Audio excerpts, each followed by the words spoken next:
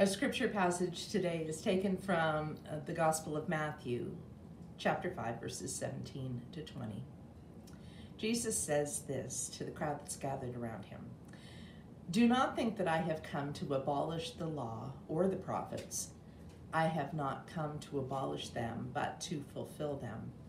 For truly I tell you, until heaven and earth disappear, not the smallest letter, not the least stroke of a pen, will by any means disappear from the law until everything is accomplished.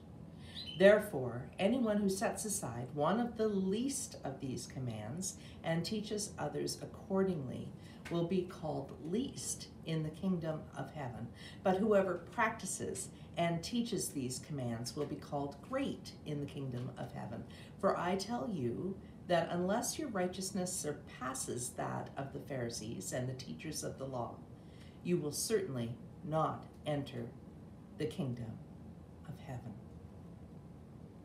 That's the word of God for you today.